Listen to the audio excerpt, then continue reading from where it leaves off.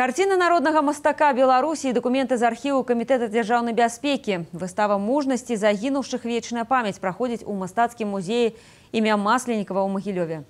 Усяго больш за 30 экспанатаў, кожных з якіх асобная гісторыя пра рэчаіснасць вялікай айчыны вайны, генацыд жыхароў Беларусі. Дзейнасць Георгія Паплаўскага своеасаблівая рэпарцёрская. Ідэалогію фашызма мастак напісаў тушу. Зараз у невялікай музейнай зале тры цыклы з 15 карцін на тэму вялікай айчыннай вайны.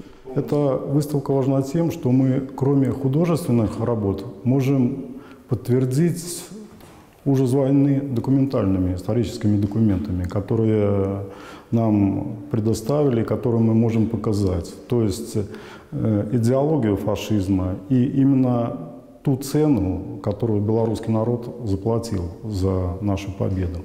Літаграфія хаты не гвалт, алегорыя беларускіх вёсак, якія спалілі разам з жыхарамі. У магілёўскай вобласці такіх таксама было шмат, і самая вялікая з іх боркі кіраўскага района. У меня всегда, как это сказать, приходили мысли, почему художник нарисовал лица наших людей, которые мы можем рассмотреть, а каратели стоят спиной. По своей работе я часто встречался с документальными вещами. Мы делали музейные экспозиции и видели лица этих людей. И все-таки я хотел развернуть этих людей, можно сказать, не людей, для того, чтобы посмотреть им в глаза. Частично нам это удалось.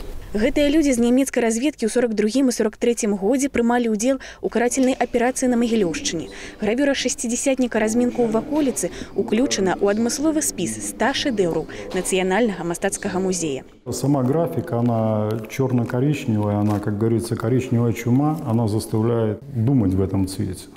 Сярод карцін партрэты Васіля быкова і Элема клімова стрыпціха з магары за мір. А гэты цыкл гісторыя аднаго атрада. Людзі вымушаны браць зброю, але іх твары прамаляваны лёгкімі светлымі рыскамі. І на ўсіх гэтых карцінах няма дзяцей.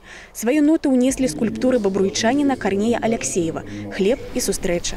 Выстава працягнецца да канца жнівеня. Дзеяна Вопсева, Дзяніс Жавіна, навіны рэгіёна.